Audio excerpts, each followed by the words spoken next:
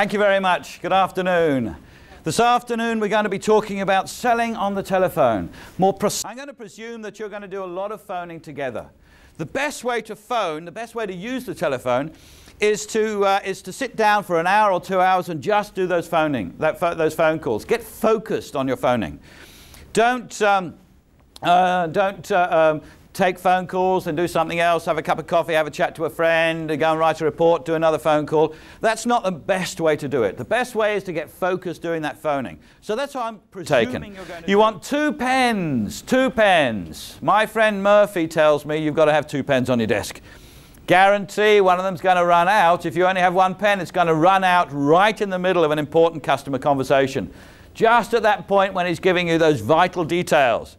And you can't say to him, hang on, hang on, hang on, I've lost my pen or my pen's run out. I mean, it's so unprofessional. Two pens on your desk. You need a clock. You need to be measuring the time it takes to make phone calls. You also need a diary.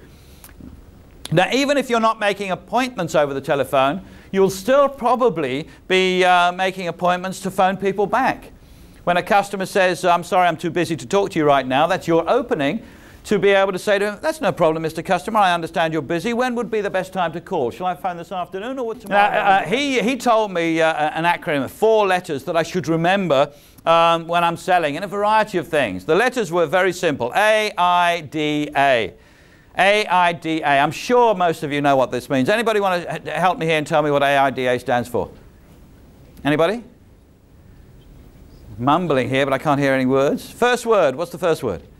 Attention. Thank you very much. First word's attention. What's the next one? Interest. Interest. Okay, good. Nice one? Desire. Desire. Thank you very much. And the last one? Action. action. Okay, it's teamwork there. Good. Attention, interest, desire, action. Four different steps. Now that uh, AIDA is a very important acronym. It's a great way to do lots of different things in sailing.